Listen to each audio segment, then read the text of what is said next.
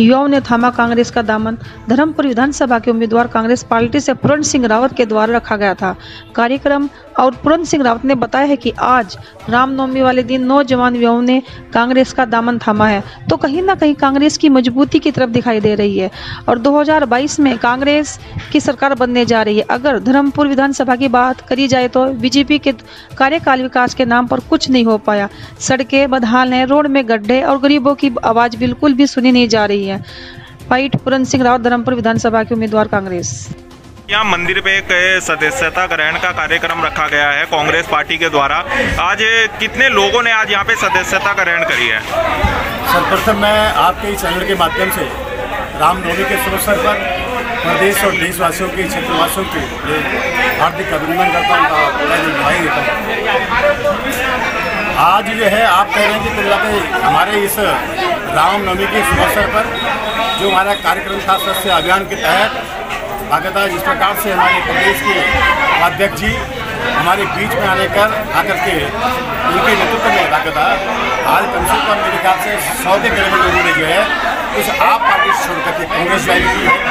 BJP से आकर के लोग कांग्रेस ज्वाइन कर रहे हैं और अभी हज़ारों के तादाद में जो है, कांग्रेस में आने के लोग तैयार हैं। आज धर्मपुर विधानसभा क्षेत्र के अंतर्गत आज देखने जगह पर आज हमारी बैठक हो रही है। सैकड़ों लोग अभी भी अंदर बैठे मीटिंग में बैठे हुए हैं।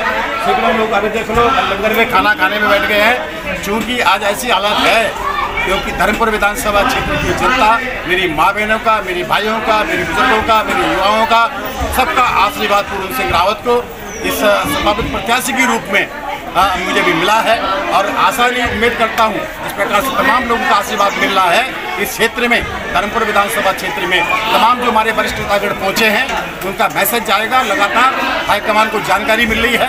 एक साल के अंतरकाल में लगातार धर्मपुर विधानसभा क्षेत्र का हर कोने तक मैं जाने की कोशिश कर रहा हूँ। मैं समस्याओं को समझ रहा हूँ। रुझान लोगों का क्या है? और मुझे पता है कांग्रेस के पक्ष में आज एक बहुत अच्छा माहौल बना हुआ है। पूरन सिंह रावत के पक्ष में सभी माँ बहनों का आशीर्वाद है और कांग्रेस कैसे चुनाव जीतेगा, मुझे पूर्ण विश्वास है। हाईकमान को सिंह रावत को देगी। भारी बहुमत से निकालेंगे। इन्हीं शब्दों के साथ मुझे पता है आपका जो सब क्वेश्चन था, कितने लोगों ने जो है असत्ता बयान की है। अभी सौ की बात कर रहा हूँ। हज़ारों लोग जो है इसी माह के अंतरकाल में अभी बड़ी बैठकें मेरी और होने वाली हैं। वहाँ पर लोग जो है भाजपा छोड़ करके कांग्रेस में सम्मिलित होने वाले हैं। इन शब्दों के साथ मैं अपना एक मैसेज देना चाहता हूँ अपने प्रदेशवासियों को। आज भाजपा से लोग त्रस्त हैं और भाजपा से हट करके कांग्रेस में आने के लिए लोग तैयार क्यों हैं? ये भाजपा की नाकामी है। भाजपा का जो है करने का तरीका कितना फ़र्क है, जनता समझ चुकी है। अब कन्फर्म है दोहरानी है। 2022 में सरकार कांग्रेस की बन रही है और प्रत्याशी जो है चुनाव जीतेंगे। ये पूर्ण विश्वास है, मेरी माँ बहन ये बात है। मिलेगी मैं